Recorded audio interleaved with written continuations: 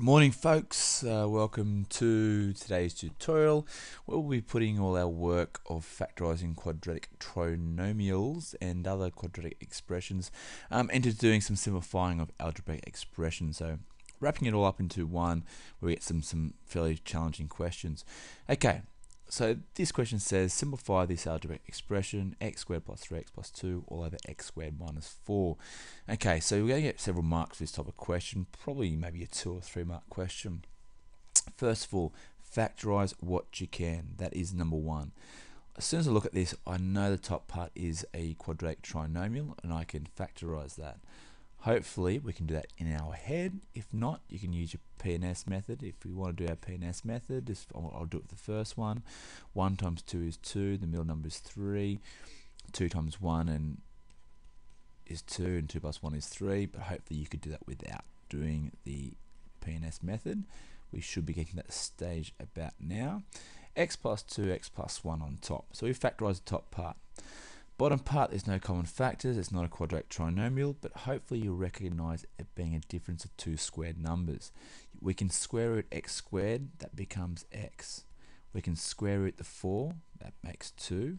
And hopefully you remember that difference of two squares is the exact same term, but instead of having a plus 2, or uh, say a minus 2, we've got a plus 2. Okay, so that's the first part where you get your marks from, you might be getting one or two marks uh, depending on, on the marking scheme for those two parts. So factorising top, factorising the bottom. Now it's a simple matter of recognising that we have an x plus 2 on top and an x plus 2 on the bottom. Remember, things like 2 divided by 2 equals 1, 5 divided by 5 equals 1. So x plus 2 divided by x plus 2 equals 1. They cancel each other out.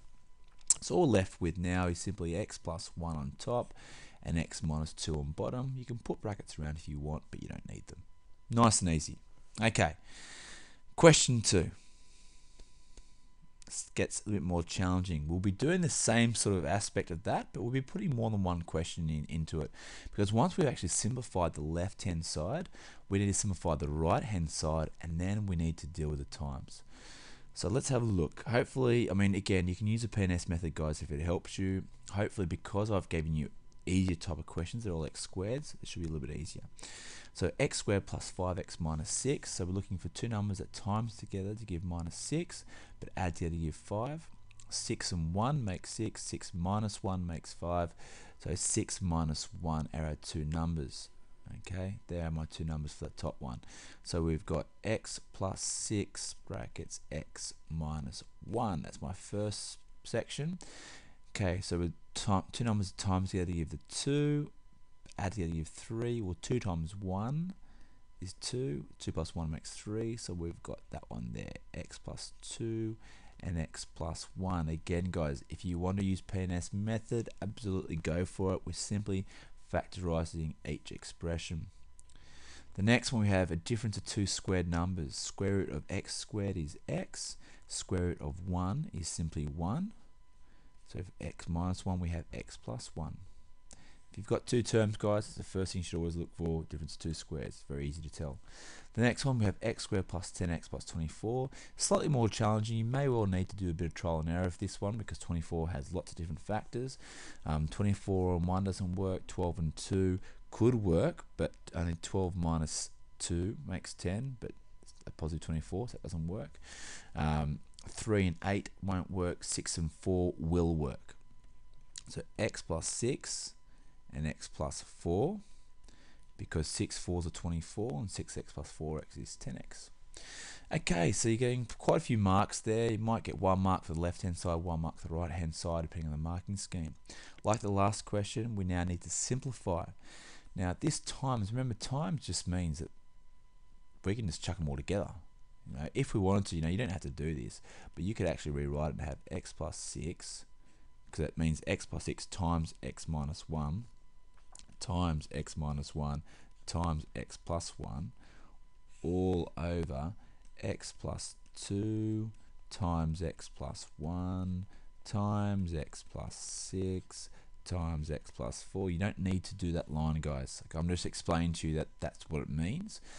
But like the last question, whatever's on top and bottom, we know if we divide it by itself, becomes 1. So in theory, it cancels itself out. So x plus 1, x plus 1 cancels. We've got a x plus 6 and an x plus 6. Um, and that looks to be about it. So we've got x minus 1. And we've got two of them, so we can actually even just do squared over x plus 2. And we've got an x plus 4 left over. Okay, and we can leave it as that. All right. I know, look, guys, this is a little bit tough, but uh, I'm going through it quite fast. But all you have to realize to get marks, you simply need to factorize the top part and the bottom part, top part and bottom part, and then it's just like multiplying fractions. Remember, if it was a divided by fraction, we'd simply turn it to a times, and then you would simply invert the second fraction. Okay, so I'm not going to do a divide by. I'm going to do the harder one. Now this is a bit more challenging. Again, you can get easy marks for simply factorizing. We know how to factorize. We've got a nice easy one on the bottom.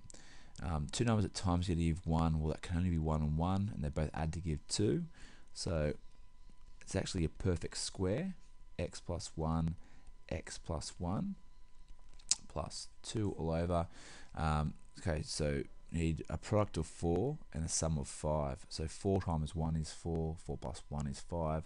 So it's x plus 4 and x plus 1. Again, if you struggle to do that in your head like I've just, just done there, do your P&S method.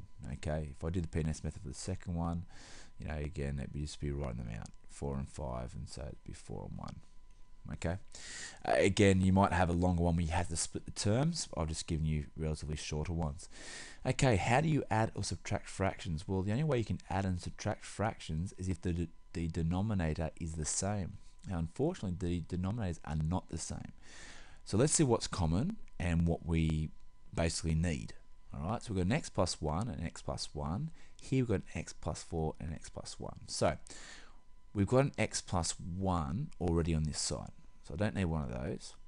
But what I do need is an x plus 4. That's what I'm missing. Okay, likewise here now, if I look what's missing on the right hand side, I've got an x plus 4, I've got an x plus 1, but I'm missing another x plus 1. Now, if I did that, that would be incorrect. Hopefully you'll remember if I'm going to make an equivalent fraction, whatever you multiply the bottom by, we must also multiply the top by. So bottom by x plus 4, top x plus 4. Likewise, on the right hand side, the bottom by x plus 1, the top by x plus 1. Now the bottoms are the same, we can simply add the tops. So let's expand the brackets as we do this. 1 times x is x, 1 times 4 is 4, 2 times x is 2x, 2 times 1 is 2, all over because the bottom denominator or the denominator is exactly the same x plus 1 x plus 1 x plus 4 just be careful if it is a subtraction question um, that can affect this thing here. I mean, some people might still like to do this. So obviously that was a minus question that might that might uh, you know slow things up a little bit. Um, but in this case it's all pluses. So x plus 2x is 3x so it's just grouping like terms. 4 plus 2 is 6 all over x plus 1 x plus 1 x plus 4 now I mean in theory you could simplify it again and factorize the top part if you wanted to and put 3 outside of x plus 2 and then x plus 1 x plus 1 x plus 4 because sometimes what you might find because now you've got them all into timesings you might be able to cross top and bottoms off. In this case you can't. So to be honest either those two um, versions would be great Okay, look, some different types of versions of, of questions you can do. You can see now where all the P&S methods coming in and your factorizing quadratic trinomials is coming in. Remember your, your form, and I'll just put this as a bit of a reminder. Uh, number one, always um, look for a common factor. Okay, always look for a common factor first. Number two, look for a difference of two squared numbers. And then number three, look for your P and S method. Okay.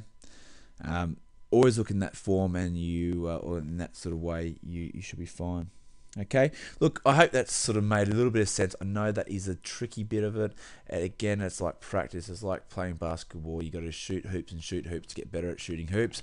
Just likewise, you got to do questions, do questions in order to get better at doing questions and this sort of stuff. It can take a little while, guys. I know the most important thing is set your working out. Have lots of nice working out there, um, particularly for your PNS methods. Um, if you find that challenging, um, but more working the better for this type of question. All right. Any questions, guys? Please post. Please ask me. Um, yeah. Hope you enjoyed.